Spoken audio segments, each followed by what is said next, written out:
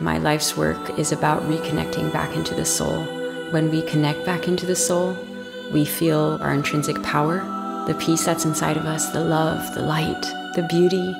I'm very excited to invite all of you into my Music Sanctuary app where you can completely unplug from mass consciousness and plug back into source energy and reconnect with the powerful soul that you are.